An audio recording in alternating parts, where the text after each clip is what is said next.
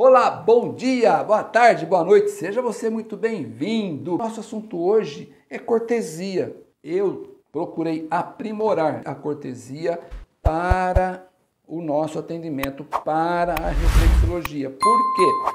Porque quando eu comecei, você acha que eu tinha dinheiro para fazer propaganda? Eu não tinha dinheiro assim para ficar fazendo propaganda. Aí eu pensei, poxa, eu preciso divulgar meu trabalho estou começando numa carreira nova. As pessoas não sabiam quem eu era. Então eu fui obrigado a fazer propaganda. Mas aí, Roberto, pensa.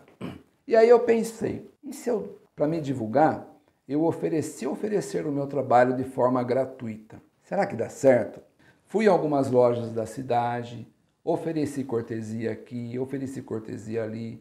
Umas aceitaram, outras não. E aí eu fui, pô, eu preciso melhorar a minha apresentação.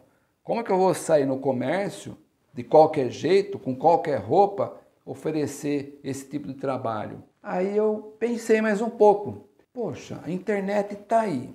A época eu não tinha Instagram, TikTok não existia, e eu fiquei naquela, mas eu tenho Instagram. Naquela época não tinha WhatsApp, mas eu tinha Facebook. Tinha os grupos, né? E se eu oferecer a minha cortesia na minha página no Facebook? Mas sabido hoje que nós temos mais redes sociais. O próprio Instagram, que o Instagram é do Facebook, mas no Instagram você tem como também fazer as suas divulgações de modo gratuito. Então, qual é a ideia? É você criar posts, criar stories, tanto no, no Facebook quanto no Instagram, daquilo que você está fazendo. Se você não tem cliente hoje, coloca lá, cria posts que você está dando cortesia. Cortesia do quê? De reflexologia podal.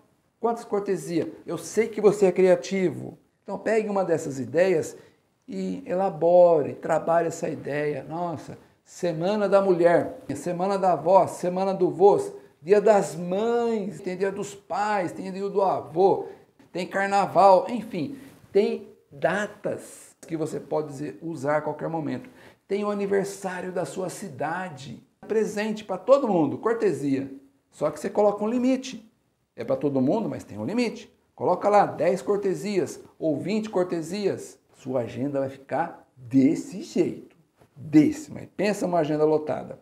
Você faz assim, ó, estratégia vai ser uma semana. Coloca Semana da Cortesia da Reflexologia Podal. Inventa um nome doido, um nome bem legal aí para você. Cria um post, cria umas imagens aí bacana, legal, tira umas fotos, bumba, publica. Quantas vezes eu vou publicar?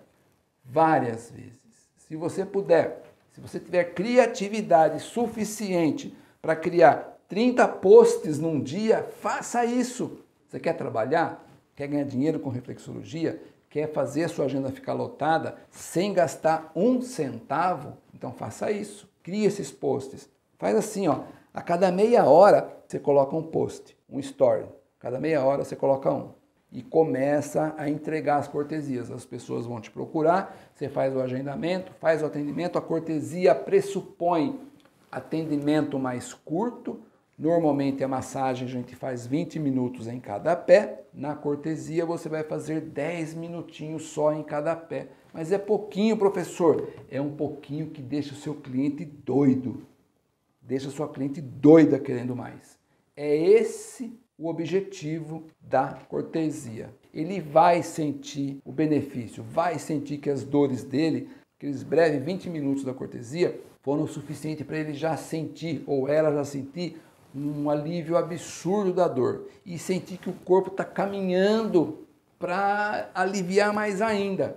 Conclusão: o cliente que ganhar a cortesia, ele vai querer mais. E o querer mais é o agendamento pago na próxima semana. Entendeu, né? Então, hoje você faz uma semana de cortesia e já para a semana que vem você já está tendo clientes pagantes. Ou seja, Daqui uma semana, daqui uma semana você já está praticamente com a sua agenda lotada. Mas você tem que dar o primeiro passo. É olhar como que faz esses posts, criar, usar sua criatividade, publicar, publicar uma vez, duas vezes, três vezes. Se prepara, porque o seu celular vai pipocar, vai ficar gente o tempo todo querendo entrar em contato com você para marcar a cortesia. E aí na semana que vem você já está tendo clientes pagantes. Simplesmente assim, a venda do seu serviço de reflexologia às vezes não ocorre na hora,